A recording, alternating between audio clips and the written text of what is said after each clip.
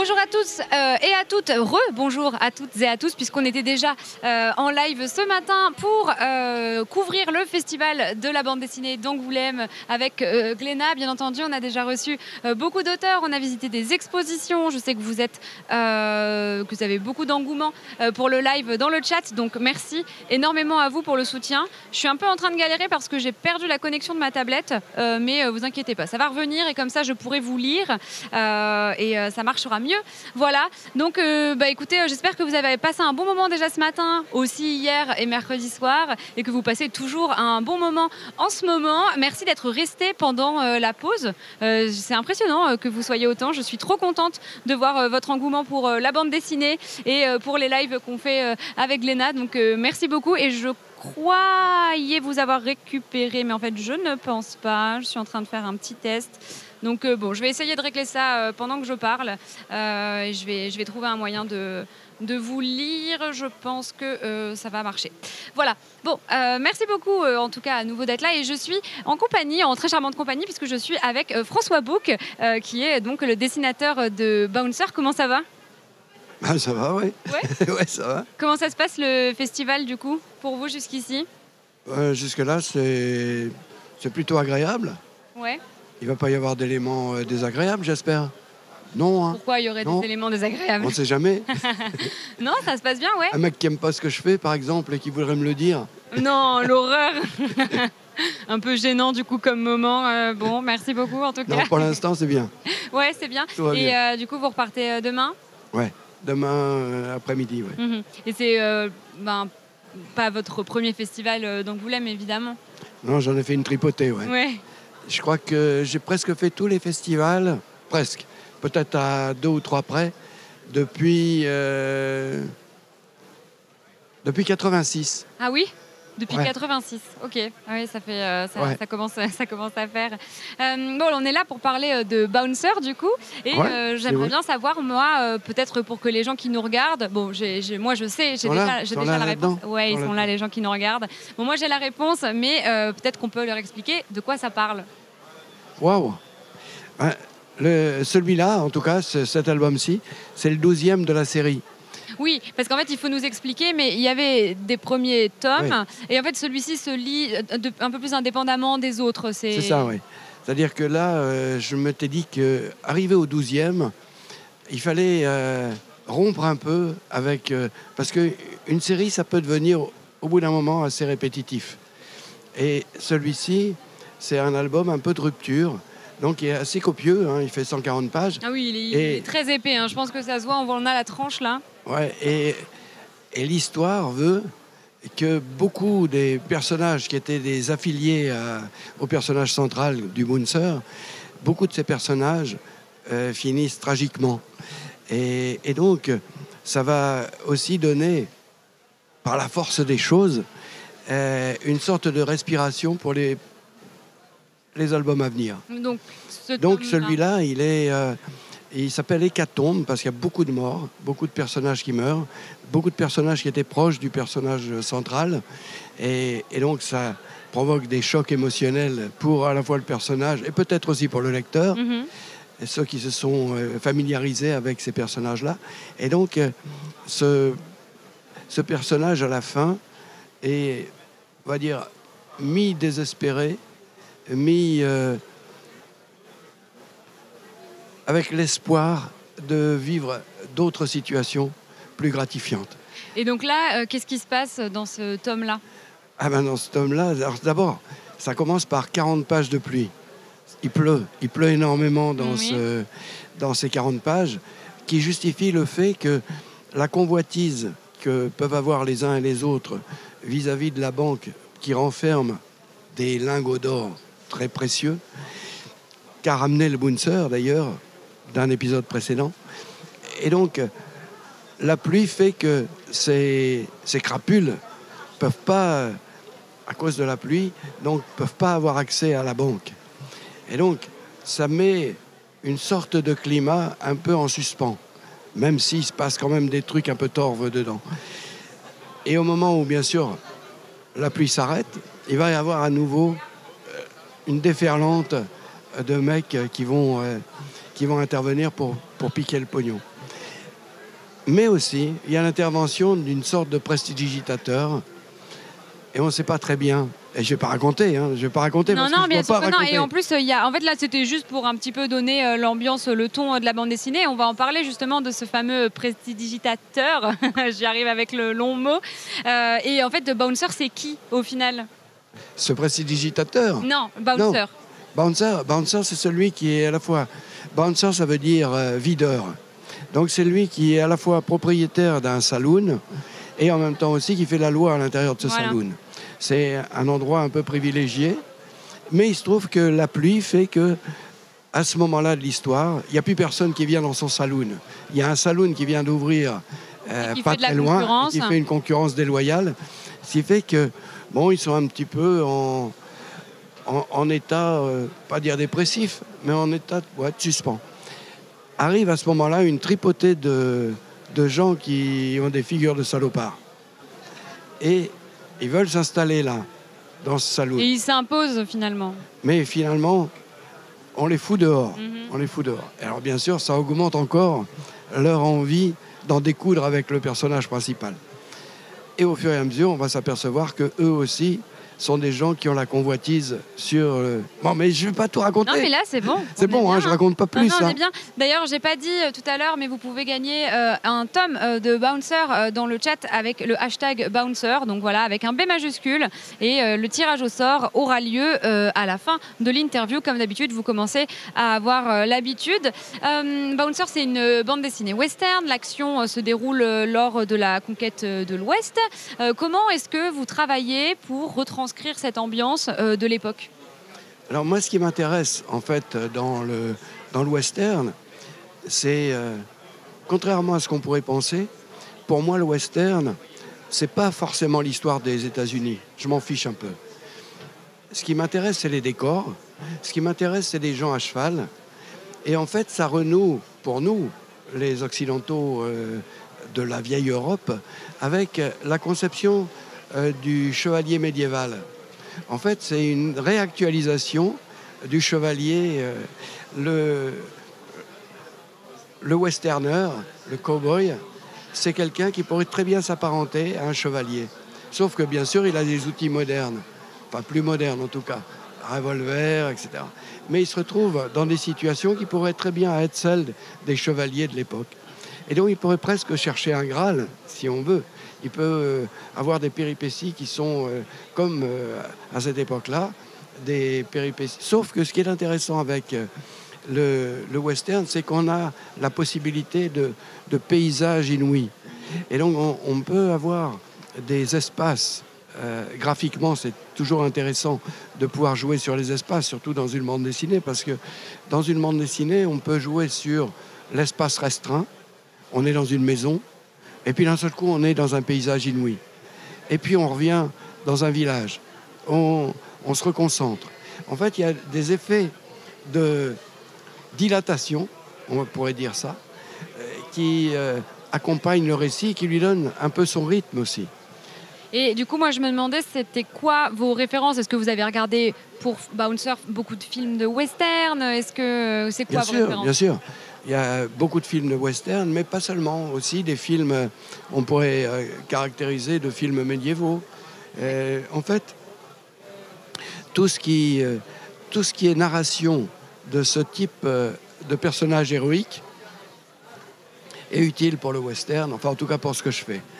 Moi j'aime beaucoup l'aspect épique. Je trouve que la bande dessinée avec un héros, c'est quelque chose qui est utile aujourd'hui. Peut-être même plus aujourd'hui encore euh, qu'auparavant. Auparavant, on fabriquait essentiellement de la bande dessinée héroïque.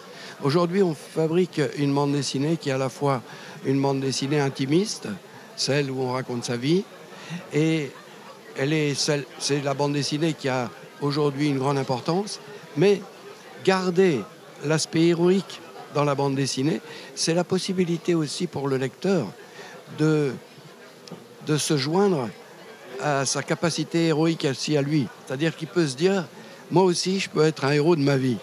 Moi aussi, je peux être un héros comme le personnage est un héros. Avec des circonstances qui sont parfois extrêmes. Parce que c'est ça aussi qui est intéressant avec la bande dessinée héroïque, c'est qu'on met le personnage dans des situations extrêmes qui ne sont pas forcément les, les, les situations les plus courantes de la vie quotidienne, mais par la pensée, on peut y arriver. Mais justement, c'est ma question euh, d'après euh, qui fait directement référence à ce que vous venez de dire, parce que en fait, ce qui est très marquant dans Bouncer, c'est euh, la violence des personnages, de ce qui se passe. Hein. Vous avez commencé à en parler tout à l'heure. Personne n'est épargné. Il y a beaucoup de morts. est-ce que c'est quelque chose qui est propre au genre du western, ou est-ce que c'est plutôt un choix narratif de votre part? Ben, le, le choix du western, c'est le choix d'un cadre. Le cadre, c'est un cadre narratif où tout est possible. C'est ça qui est intéressant avec le western, c'est que on peut avoir la cruauté la plus extrême et en même temps aussi les passions, euh, les passions amoureuses les plus euh, fortes aussi. On peut avoir des paysages inouïs, on peut avoir euh, des, paysages dont on voit pas le bout, et on peut aussi avoir des, paysages restreints, le confinement dans une maison. on, a toutes les possibilités. On a la cruauté des animaux, on a la cruauté des, des, Indiens, qu'on pourrait dire sauvages à certains moments, donc qui vont aussi euh, jouer, qui peuvent jouer aussi un rôle euh, d'opposant au, héros. On a toutes ces possibilités-là ensemble. Et ces possibilités-là, c'est un cadre narratif inouï qu'on n'a même pas besoin de poser. Parce que quand on raconte une histoire, par exemple, de science-fiction, on est obligé de poser le cadre de dire voilà, ça se passe sur telle euh, planète, sur telle planète, il y a ça. Et on, est obligé de tout expliquer pour que le lecteur ait bien tout ça en tête. Et ensuite, on va faire jouer les personnages à l'intérieur. Tandis que là, avec le cadre du western, on a tout tout de suite. Les gens connaissent tout tout de suite euh, ce que c'est que le western. Donc, ils acceptent tout de suite les conditions.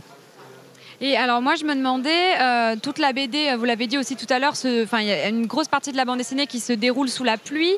Euh, les rues, elles sont inondées, il y a carrément les cercueils qui sortent de terre. Et la pluie, c'est presque un personnage à part entière dans cette bande dessinée. comment vous avez travaillé cette pluie au final? Hein, Effectivement, comme vous le dites, c'est un élément dramatique intéressant. À la fois dramatique et en même temps aussi graphique. Parce que les personnages. C'est exactement ça. Hein. C'est ce que je me suis dit. C'est du travail hein, de représenter sous cette pluie à chaque fois. Euh. Oui, bien sûr. Et puis il faut toujours faire attention parce que si par exemple je fais la pluie de ce côté-là, quand je vous regarde, si je me mets de dos à vous et que je me regarde moi, il va falloir que je change la pluie de. Donc il faut, toujours être vigilant. Il faut toujours faire attention à toutes ces. Parce que bien sûr, tout ça, ça donne de la crédibilité. S'il y a une défaillance là-dedans, le lecteur va se dire ouais, la pluie n'est pas du même côté là, ça va pas. Et, euh, et, donc il faut être attentif à tout et ça donne aussi une, une impression graphique que tout est assuré, tout est euh, strié par la pluie. Et donc ça aussi c'est intéressant. La lumière est plus tout à fait la même. Comment euh, quand il y a un, un ciel extrêmement lourd, comment est la lumière? Et donc, c'est tout le travail aussi qu'on a fait à la couleur avec mon, mon neveu, qui, qui fait qu'on a encore plus appuyé sur cet aspect euh, de lourdeur euh, de ces premières séquences. Et c'est vrai que la pluie est très pesante hein, dans, cette, euh, dans cette bande dessinée. le tome 12, donc celui-ci, existe aussi en une version spéciale noir et blanc, j'ai vu. Pourquoi avoir voulu sortir cette édition? Parce qu'il y a, y a toute une catégorie de lecteurs qui aiment bien voir la, à la fois la couleur, mais de voir aussi le dessin, le dessin pur, on va dire. Le dessin euh, tel qu'il est, fait. Euh, parce que moi, quand je fais mes planches, je les fais d'abord en noir et blanc. La couleur va venir ensuite. Et donc, quand je conçois mes planches en noir et blanc, d'une certaine manière, je me projette la couleur. Mais elle n'y est pas. Et d'avoir la possibilité d'inventer la couleur à partir du noir et blanc, d'inventer dans sa tête, le lecteur peut le faire à ce moment-là il peut prendre l'album noir et blanc et imaginer la couleur qu'il aurait pu y avoir. Donc c'est vraiment une version pour euh, laisser le lecteur euh, imaginer ses propres couleurs euh, finalement et qu'on lui impose pas une palette en particulier. C'est intéressant. c'est vrai que quand je l'ai vu, je me suis dit ah, c'est chouette cette version noir et blanc. les gens trouvent que c'est très beau en tout cas hein, depuis tout à l'heure parce qu'il y a des projections ah de, des planches. Donc, donc vraiment merci à vous de, de, nous écouter. et alors bon bah on arrive déjà presque à la fin de, cette interview et je me demandais, c'est quoi euh, vos projets euh, pour la suite Alors, pour, euh, avec le bouncer, Peu importe, pour, pour Bouncer j'en ai, déjà- ai déjà une idée, mais Uh-huh. il faut que je la travaille. Ok. Elle n'est pas encore euh, suffisamment aboutie pour que je puisse en parler. Sinon, euh, je travaille aussi pour euh, Fluide Glacial actuellement. Je fais une série qui s'appelle. C'est avec un petit pape. J'ai inventé un petit pape qui est grand comme ça. Parce qu'il n'y a personne qui a pensé à faire euh, Un tout petit un pas. pape euh, héros de bande dessinée. Donc mon personnage est un personnage de pape qui est pas grand, qui, qui s'appelle Pi 314 euh, et qui, là, je vais expliquer. Il s'appelle Pi 314, oui. Et il fait des circonférences épiscopales. C'est pour ça qu'il s'appelle Pi 314. Ah. Et donc, je vais expliquer pourquoi la- le monde va mal. Et donc, il va s'y atteler. Il va s'atteler à ce. Ça, c'est ce qui paraît actuellement dans les pages de Fluide Glacial. Et sinon, en parallèle, j'ai commencé euh, la suite d'une enfin, série qui n'est pas vraiment une série. En fait, j'ai fait un premier album qui s'appelle Little Tulip, qui est un album qui se passe avec un tatoueur dans le goulag dans les années, euh, dans les années staliniennes, qui ensuite, euh, s- 20 ans après, se retrouve à New York et euh, donc avec euh, une autre, euh, donc la suite de ce premier album 20 ans après, qui s'appelle New York Cannibal, parce que dans les goulags, il y avait des gens qui s'étaient adonnés au cannibalisme et qui ensuite se sont retrouvés à New York. Alors comment ça se passe? Et euh, je fais le troisième tome de cette histoire qui va être encore 20 ans après. Et donc j'ai entamé celui-là aussi. Bah écoutez, euh, merci beaucoup euh, François Bouc du coup pour euh, cette interview et pour m'avoir accordé du temps pour parler de Bouncer du coup. Mais merci très à vous. agréable d'échanger avec vous. Dans le chat, je vous rappelle que vous pouvez faire hashtag Bouncer donc pour gagner un tome offert donc par Glénat et voilà il va y avoir le tirage au sort dans quelques instants. Je vous remercie à nouveau. Je vous souhaite Merci. une bonne fin de festival. Merci à tous les gens qui sont derrière là. Ouais, bah là il parle. Merci, merci. euh, Ah bah ouais. Voilà, toujours aussi cool les interviews, donc euh, les gens euh, sont contents. Et il y a du monde en plus, hein. Il y a 1700 personnes qui nous regardent. Waouh. Ouais. Bon. Ouais, même moi, je suis contente. Bon, salut les 1700 personnes. voilà, salut. Et, je, je pense qu'ils vont dire salut du coup. Euh, après, je pense qu'on a un tout petit délai aussi. C'est possible qu'ils disent voilà, salut, bonjour, bonjour. salut, salut, salut. Mais même tout à l'heure, on a visité une exposition euh, avec Olivier Ledroit pour Requiem.